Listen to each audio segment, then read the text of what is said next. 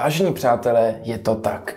Tématem letošního filmového festivalu je bez cenzury a proto i my budeme k vám přistupovat naprosto bez cenzury.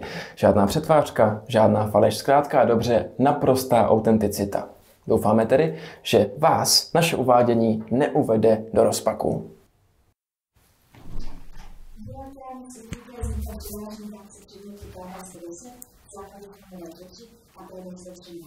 Produkce audiovizuální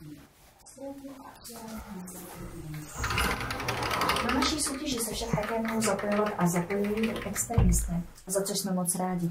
Celý festival vznikl pod záštitou Laboratoře elektronických multimediálních aplikací LEMA pod vedením docenta Petra Sojky.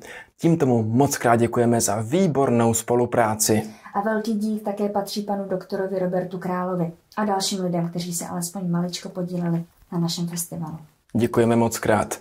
A nyní už přichází úvodní slovo pana profesora Jiřího Zlatušky, děkana Fakulty informatiky.